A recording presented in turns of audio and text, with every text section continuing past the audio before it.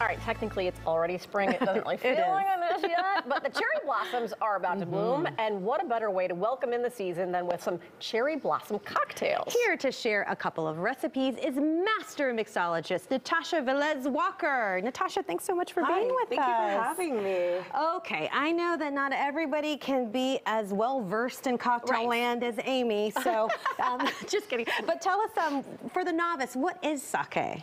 So sake is going to be brewed um, spirit um, that you're going to be using a few very natural ingredients. You're going to be using koji, water, rice, and essentially, depending on the way that you um, mill away at the rice is the type of sake that you're going to have. So today we're doing a junmai, so it's going to be polished up to 70%. Oh, that So, uh, fancy. Okay. What you do by polishing is that you're removing some of the impurities and the fat. You're trying to get to the center grain where you get the best flavors. Interesting. Okay. All right. Yes, So you're, making, that's, you're making two, right? I'm making two, so we're gonna. It's We're gonna be asking. ambitious today, right? Yeah, I love it. Right. Um, we're going to be doing a variation on a Negroni with um, cherry blossom vermouth, Luxardo Bitter Bianco, and we're going to use TYKU Junmai Sake.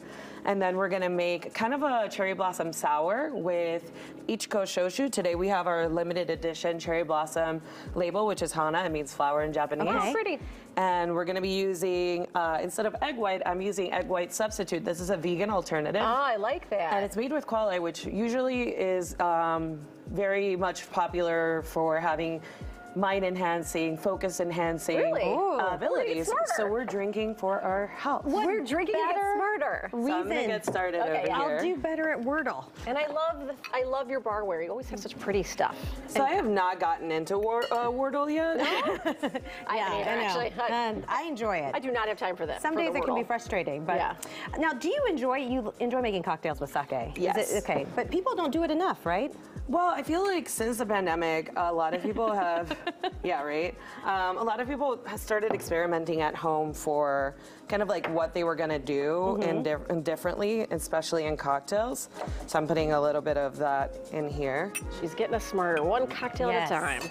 They'll help us with our mental abilities. Yeah, it's Monday. It's about focusing, right? Yeah. and you have the coolest ice cubes.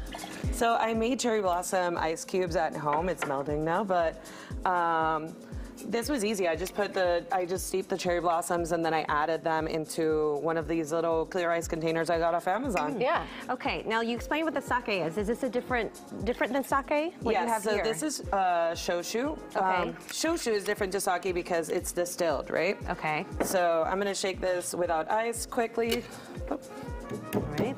No ice. Why no ice with this one? because you want the foam to ah, gotcha. alive. And, she's then got we're the pretty ice cubes to use too. Mm-hmm. So. Yes. Beautiful. Oh, also fancy. Do I need to be stirring this? Can, how can I help you? Don't worry about it. Okay. Let, let the need my master. help. She, yeah, she got the title master for a reason. a little more shaking now with the ice. Are these Japanese spirits seem to be getting more and more popular in the U.S. Yes, and it's growing in popularity, I think, just because, you know, the broad growth of cuisine and curiosity. But what the difference is with shochu, so with ri- with sake, you're using um, rice. And with shochu, you can use a variety of things. Today we're using iichiko, which is churro barley shochu. Yeah.